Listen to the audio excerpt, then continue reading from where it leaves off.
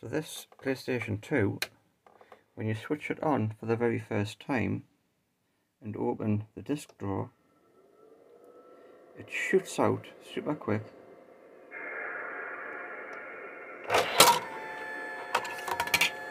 And you have to press reset to take it back in.